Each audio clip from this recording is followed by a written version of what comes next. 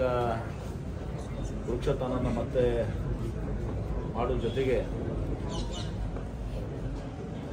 ಸ್ಮಾರಕಗಳ ರಕ್ಷಣೆ ಬಗ್ಗೆ, ಸ್ಮಾರಕಗಳ ಬಗ್ಗೆ ಅರಿವು ಮೂಡಿಸಲಿಕ್ಕೆ ಅದರಿಂದ ಪ್ರವಾಸೋದ್ಯಮಕ್ಕೆ ಉತ್ತೇಜನ ಕೊಡಲಿಕ್ಕೆ ಎರಡು ಥೀಮು.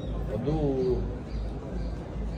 ವಿಜಯಪುರ ಜಿಲ್ಲೆ, ನಮ್ಮ ಜಿಲ್ಲೆಯಲ್ಲಿ ಅರಣ್ಯ ಕವರ್ ಏನಿದೆ ಫಾರೆಸ್ಟ್ ಕವರು ಅದು ಜಿಪ್ ಕೇವಲ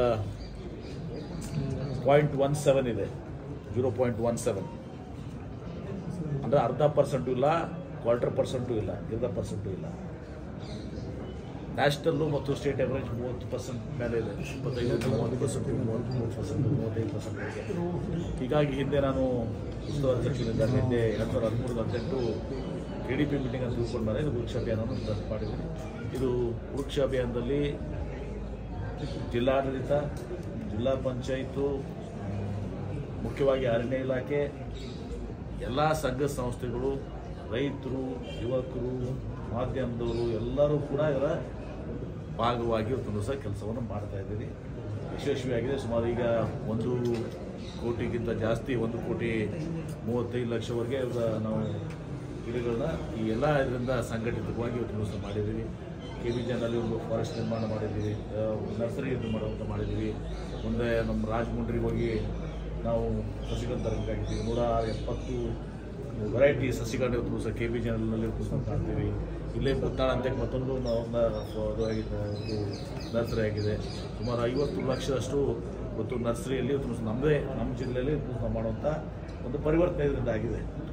ಇದ್ರ ಜೊತೆಗೆ ಜನರು ಕೂಡ ಭಾಳಷ್ಟು ಆಸಕ್ತಿ ವಹಿಸ್ಕೊಂಡು ಯಾಕೆಂದರೆ ನೋಡ್ತೀವಿ ಗಣಪತಿ ಹಬ್ಬದಲ್ಲಿ ಕೂಡ ಸಸಿ ಸಸಿಗಳನ್ನು ಕೊಡುವಂಥದ್ದು ನಮ್ಮ ಹುಟ್ಟುಹಬ್ಬದಿಂದ ಸಸಿ ಕೊಡುವಂಥದ್ದು ಮದುವೆಯಲ್ಲಿ ಸಸಿ ಕೊಡುವಂಥದ್ದು ಹೀಗೆ ಅವೇರ್ನೆಸ್ ಕೂಡ ಕ್ರಿಯೇಟ್ ಆಗಿತ್ತು. ಈಗ ವೃಕ್ಷ ಅಭಿಯಾನ ಜೊತೆಗೆ ನಾವು ಈ ಪರಿಸರ ಊಟ ಏನಿದೆ ಹೆರಿಟೇಜ್ ರನ್ ಎರಡನ್ನೂ ಕೂಡಿ ಬ್ಲೆಂಡ್ ಮಾಡಿ